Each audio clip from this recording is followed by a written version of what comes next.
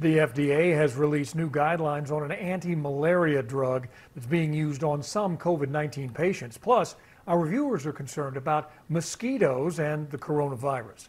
KIRO 7 Matthew Smith is helping you separate fact from fiction.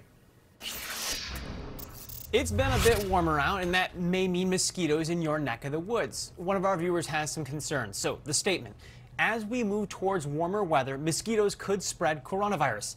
That's fiction. And we've got some good data on this from the World Health Organization.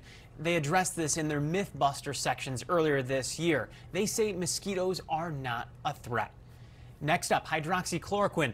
You've heard a lot about this anti-malaria drug, a ton actually, after the president said that we needed to give it a closer look. The FDA even authored an emergency use authorization allowing it to be used inside hospitals, including some in our area. There's new information out now from the FDA, so let's review what we've previously said. The statement reads hydroxychloroquine can be helpful to COVID 19 patients. This remains undetermined. So the FDA has put out a new alert. It changes some of the thinking here, but they're still testing it. So it's a little too soon to say fact or fiction. But in Friday's update, they did say this quote, hydroxychloroquine and chloroquine have not been shown to be safe and effective for treating or preventing COVID 19. Next, let's talk about the virus and its effect on the people who get it. Reminder, we talk about flu-like symptoms in some cases because we've seen some crossover on these types of things.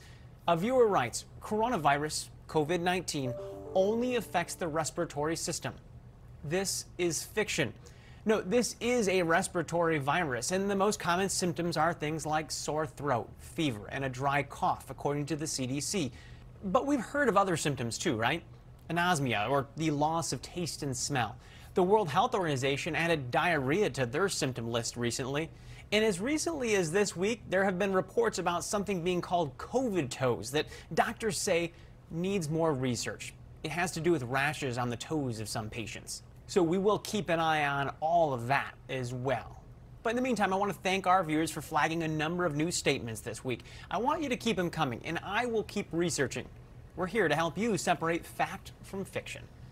Matthew Smith, KIRO 7 News.